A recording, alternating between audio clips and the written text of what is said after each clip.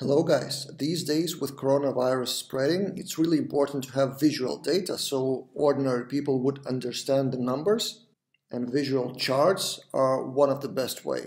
So I've created a small mini demo project that shows the cases of coronavirus currently in our region where we live in Lithuania, in Central Europe and Baltic countries. So just actually it's the answer for anyone who is asking me how am I doing. So Baltic countries, three countries, Lithuania, Latvia and Estonia are doing relatively well. In my own Lithuania, there are only 26 cases as of now. Latvia and Estonia are a little worse, so Estonia has 200 already for relatively small population, but we're not at exponential growth, at least yet, fingers crossed. So let's learn how to create something like that, and I've created that with two tools, with our quick admin panel to manage the data. So if you click infections, you'll have a table of report date, country, and infections. And from that, on a dashboard, you see the chart. So one tool is Quick Admin Panel, and second tool is our own package, which we use inside of Quick Admin Panel. It's Laravel charts for simple charts like this one. And just now, I've released a new version of that package, which allows conditions and multiple data sets like this one. So let me show you a demo. Let's create new project in Quick Admin Panel. Infections, for example. I will choose my own favorite theme CoreUI. We create the blank panel. By default, it contains something for user management, which we don't really care about now.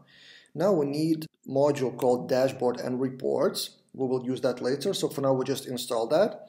And then we need to create two CRUDs or two menu items, they're called menus or CRUDs. First is countries. And for countries, you have a specific function that if you add countries, system suggests you to create the countries table with data for you, with countries of the world. So that is being generated in the background. And then we create another menu item called infections. So infections, then field should be belongs to relationship to country. So which country? Model is countries and we will show country name in the list. Save. Then date, report date, date picker, report date, required, and we save that field and third field will be actual infections. So it's integer infections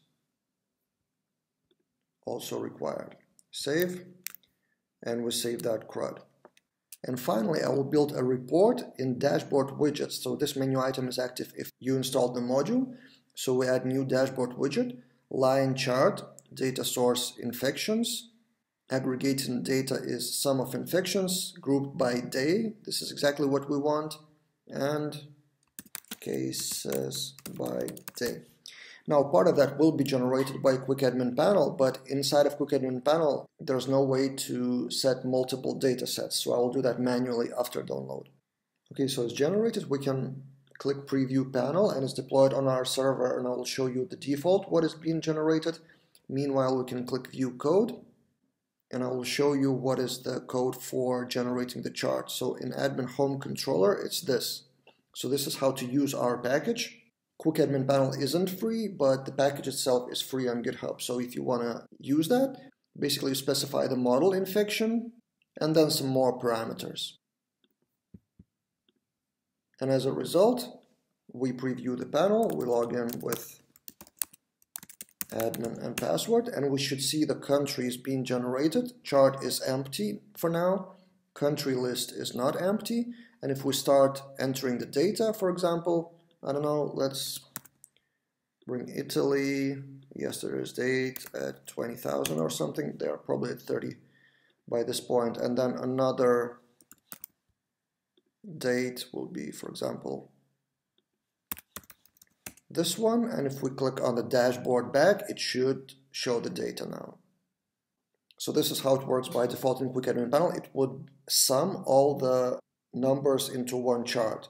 But after download, what I've done here in addition to that code is this one. So new parameter in that package, array conditions, and you can specify raw condition of country equals something in my case. You can specify color, whether it's green or you can do something like that. Should also work.